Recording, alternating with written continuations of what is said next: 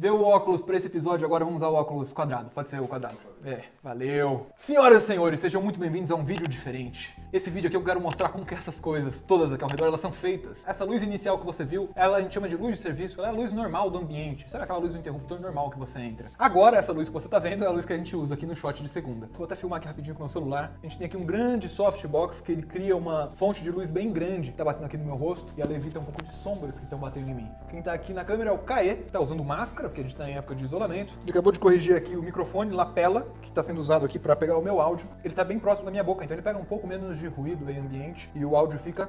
E o shot de segunda parece super fácil, super simples, mas às vezes a mágica da arte é isso, é você fazer parecer que é fácil. E quando você consegue fazer parecer que é fácil, quer dizer que tá bom. Roda a vinheta!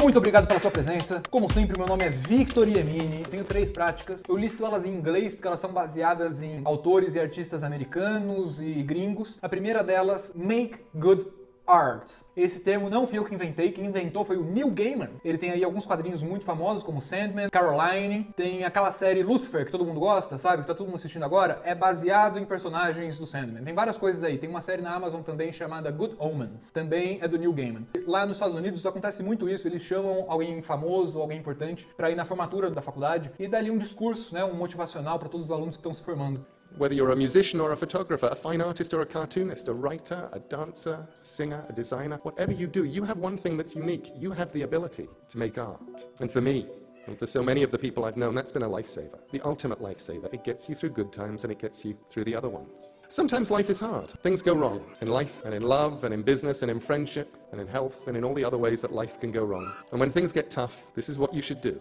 make good art. I'm serious. Husband runs off with a politician, make good art. Leg crushed and then eaten by a mutated boa constrictor, make good art. IRS on your trail, make good art. Cat exploded, make good art. Someone on the internet thinks what you're doing is stupid or evil or it's all been done before, make good art. Probably things will work out somehow, and eventually time will take the sting away, and that doesn't even matter. Do what only you can do best. Make good art. Make it on the bad days, make it on the good days too.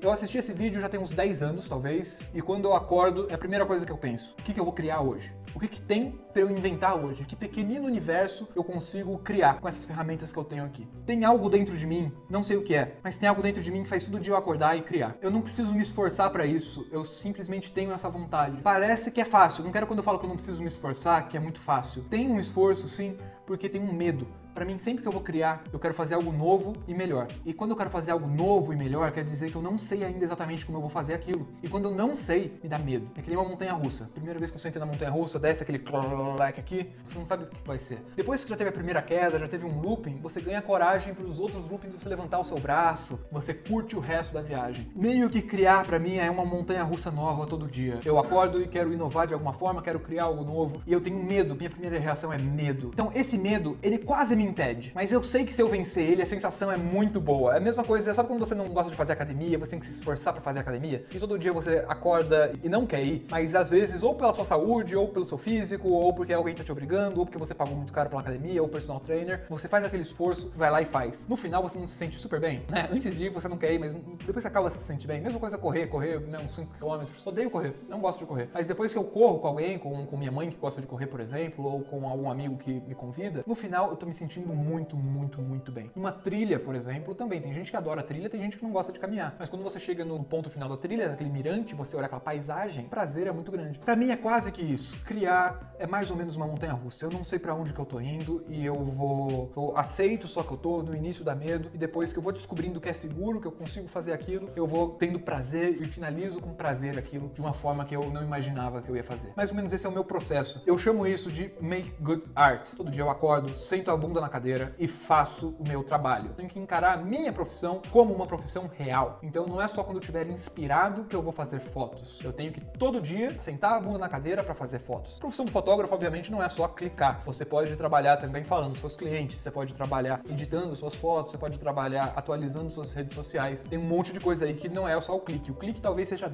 10% do trabalho do fotógrafo, Talvez, mais ou menos por aí. Não espere inspiração. A inspiração, ela não vem quando você tá sentado na praia ou quando você tá de madrugada numa balada ou bêbado ou qualquer coisa. A inspiração, ela é uma ideia que de vez em quando aparece e você tem que se esforçar para executar ela. Por exemplo, se você é ilustrador, você senta e você se esforça para fazer um quadro, aquilo é inspiração para as outras pessoas. As outras pessoas vão ver aquele seu resultado e vai falar: "Nossa, essa é uma pessoa inspirada". Para você não, mas para ela sim. Desculpa se ficou um pouco confuso, mas a ideia é: acorda e cria alguma coisa. Todo dia cria alguma coisa. Acorda com essa coisa na cabeça. Sua meta. Vou criar alguma coisa hoje. Se você tiver isso, você tem uma das três coisas aqui que eu considero que são essenciais para um artista. A segunda coisa é mostre o seu trabalho. Isso é uma coisa que acontece muito. A gente começou o vídeo aqui com essa brincadeira, mostrando o nosso trabalho, mostrando aqui um pouquinho do background. E eu quero desmistificar uma coisinha que é: muita gente, todos os profissionais, na verdade, eles começam dessa forma. Eles começam postando só o melhor do melhor, só o resultado final. Não quero falar o melhor do melhor, porque nem sempre é exatamente isso, mas só o resultado final do trabalho deles. Então, por exemplo, uma arquiteta constrói vários ambientes de uma casa. Essa arquiteta deveria tirar fotos de todos os ambientes, ou contratar um fotógrafo profissional, ou ela deveria estudar fotografia e fazer as fotos ela mesma, mas ela deveria captar aquele resultado final e ela deveria compartilhar nas redes sociais, compartilhar com o público dela, no site dela, ela deveria mostrar o trabalho dela. Se ela não faz, ela deveria. Aí tem o passo 2 disso. Não é só mostrar o resultado final, você tem que aprender a mostrar o processo. E isso é muito mais difícil do que parece, porque não existe formato certo, né? O resultado final tem mais ou menos um formatinho. É aquela foto mais bonita que mostra o trabalho. Mas agora, mostrar o processo não tem um formato. Você pode fazer tudo com seu celular, com uma câmera profissional, você pode fazer em formato stories, você pode fazer em formato YouTube. Mas quanto antes você aprender a transformar o seu trabalho ou o seu hobby em audiovisual, desenvolver essa habilidade que é muito, muito importante em qualquer profissional. Você pode ser um dentista se você sabe tirar foto boa, se você sabe comunicar bem nas redes sociais, você vai se destacar entre os outros dentistas. A imagem, a comunicação audiovisual e as redes sociais estão presentes na vida de todo mundo hoje. Você vai ter um diferencial das outras pessoas. Pode ser dentista, pode ser arquiteto, pode ser designer de roupas, pode ser qualquer coisa.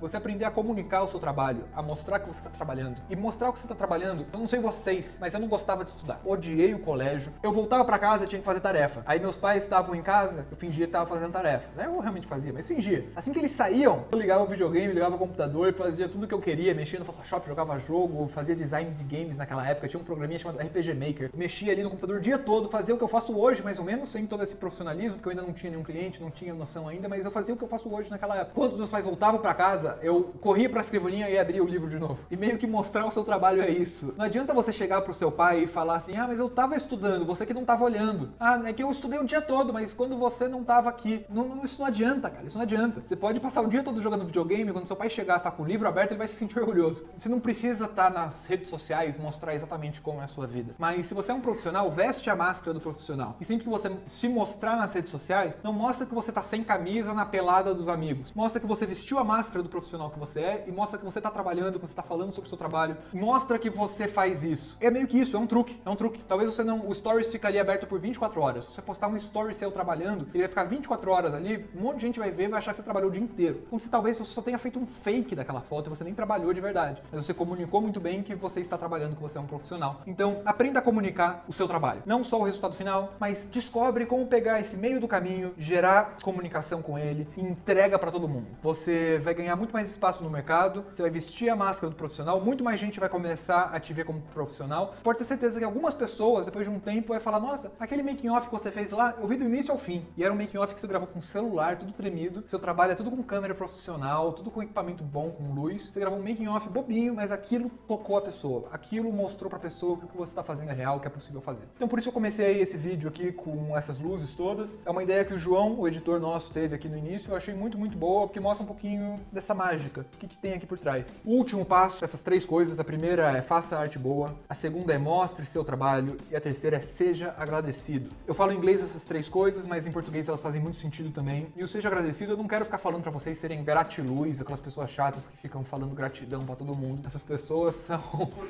insuportáveis, exatamente. Boa. Porque, cara, não faz o menor sentido você ser gratidão com tudo, assim. Só que eu acho que às vezes a gente não é grato pelo que a gente realmente tem. Vou dar um exemplo bem básico aqui. Às vezes eu penso, ah, quando eu me mudar para uma casa melhor, ou quando eu pintar, quando eu reformar minha casa, quando eu pintar as paredes, eu vou começar a fazer vídeo, vou começar a fazer foto aqui em casa. Sem perceber que o que eu tenho ali já é tudo que eu preciso. Inclusive, se eu me esforçasse mesmo, conseguia fazer algo incrível lá. Mas na minha cabeça eu não quero fazer porque já tá lá há muito tempo e eu não vejo valor naquilo. Gratidão para mim é mais ou menos você começar a enxergar valor nas coisas simples da vida. Começar a enxergar valor nas coisas que você já tem e não nas coisas que você ainda não tem. Se você tem uma casa, cara, seja muito grato a isso. Muita gente não tem casa. É isso que eu penso. Se eu não tivesse uma casa, eu quisesse gravar vídeo na minha casa, eu ia falar, nossa, qualquer casa que eu tivesse, que fosse uma parede de reboco, eu ia querer filmar nela. Agora que eu tenho uma casa com as paredes pintadinhas, eu não quero filmar porque eu acho que poderia ser melhor, porque eu não dou valor a ela. Então a mesma coisa pode acontecer com o meu equipamento, a mesma coisa pode acontecer com a minha família, com a comida que eu como todo dia, com a água, com o bairro que eu moro, com o computador que eu tenho. Às vezes você olha pro seu computador e fala, nossa, ele é muito velho, ele é ruim, minha câmera é ruim, é velha. Na verdade, você não tá dando valor às coisas que você tem. E não é você inventar um valor, é fingir que aquilo é melhor. Não, é que aquilo realmente já é o suficiente para fazer tudo que você quer fazer. O seu cérebro, ele te engana, ele cria truques para fazer você achar que você precisa de mais. Na verdade, isso é enganação. Tem momentos na minha vida, por exemplo, que eu vicio em boné. E aí eu vejo um boné na internet e não sei porquê, eu passo dias pensando naquele boné e eu só paro de pensar nele depois que eu compro. Eu não precisava daquele boné. Eu convenci eu mesmo que eu preciso dele, eu compro e depois que eu tenho ele em mãos, em dois dias eu percebo que eu não precisava dele. Ou mesmo na hora que eu recebo a caixa, eu já falo, mano, o que isso me agregou? Mano, o que, que melhorou meu trabalho isso daqui? Por que eu gastei dinheiro com isso aqui? Dá valor às coisas que você tem. Gratidão é isso. Agradece a sua família. Você tem uma família, cara. Tem gente que não tem. Pra dar o valor a isso. Às vezes você tá reclamando aí, ah, eu fotografaria minha namorada se ela, sei lá, gostasse de se maquiar, ou se ela gostasse de se arrumar melhor. Cara, você tem uma namorada, mano. Você,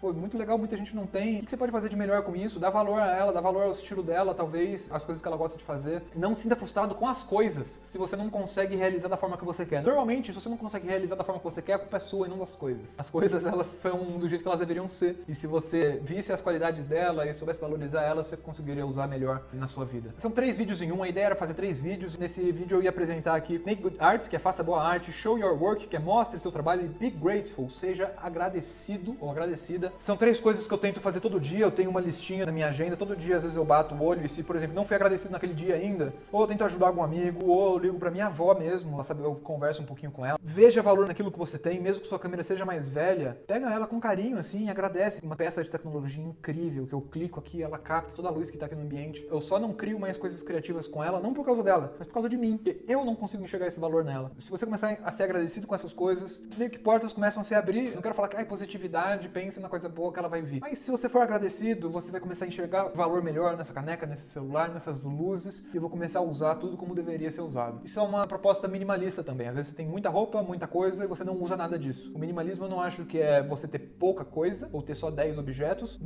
minimalismo é você enxergar valor em tudo aquilo que você tem. Se algo não tem valor, se algo realmente não está te agregando, ou de nenhuma maneira vai te agregar, por que, que você tem ela, né? Então é isso. Façam boa arte, mostrem seu trabalho e sejam agradecidos. Muito obrigado a você que assistiu até aqui. Você é uma heroína, você é um herói. Deixa ali seu inscrever-se, deixa um joinha, clica no sininho para receber notificação. Muito obrigado, muito obrigado mesmo. A gente se vê na semana que vem. Falou!